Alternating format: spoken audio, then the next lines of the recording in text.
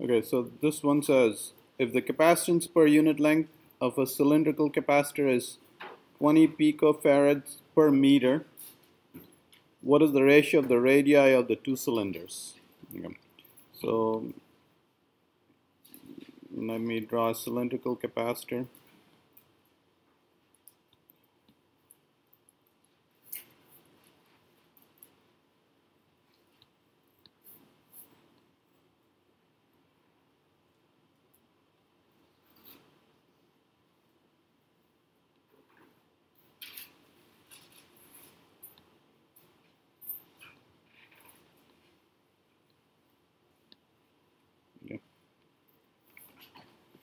And the capacitance of such a capacitor is given by L by 2K natural log of B over A.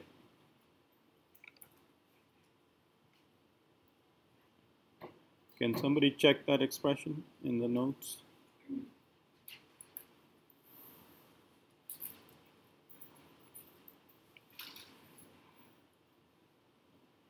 Pull up the slides. What? Okay. All right, so they tell us the capacitance per unit length.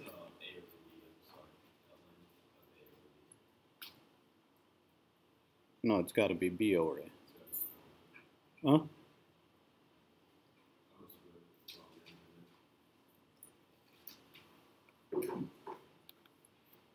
All right, so that should capacitor per unit length is 2ke B over A. A or B would be negative.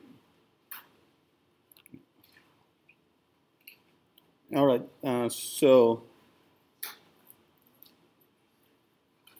and they give you this value to be equal to 20 picofarad per meter.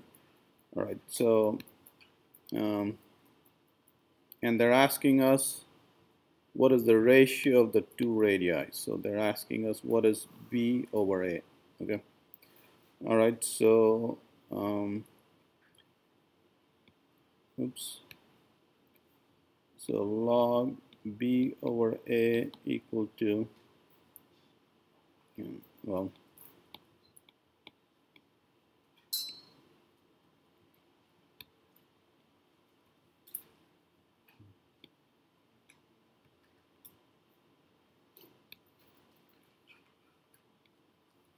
okay so now let's put in these numbers. So log b over a equal to 1 over 2 ke 9 times 10 to the 9 the Coulomb constant is 9 times 10 to the 9 Newton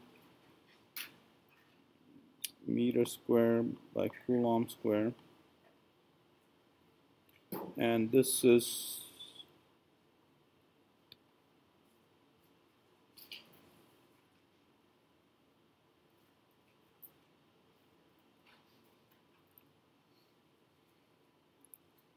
20 pico. 20 picofarads 10 minus 12 farads per meter. Okay. So this is equal to let's take care of powers of 10 first.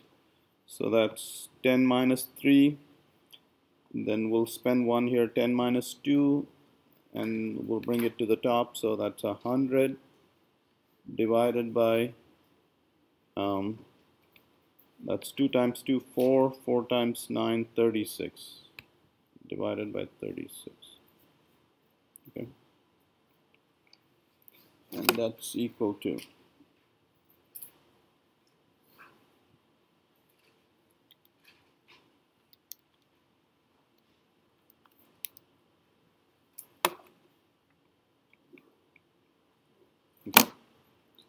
So log b over a is that.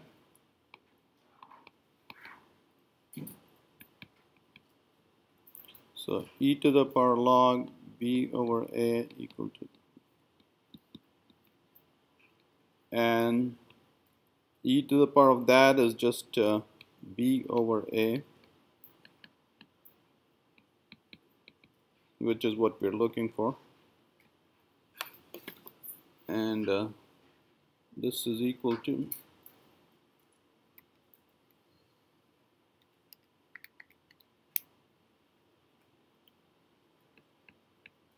Sixteen point one. So the radio ratio of radii are six is sixteen point one. Yep.